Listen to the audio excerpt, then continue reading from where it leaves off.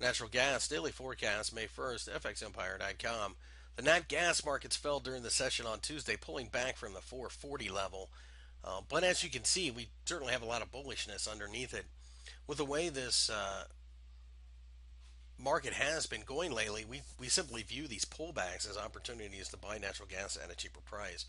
Certainly, there is a lot of support right here at the 420 level as we formed a nice hammer and then took off.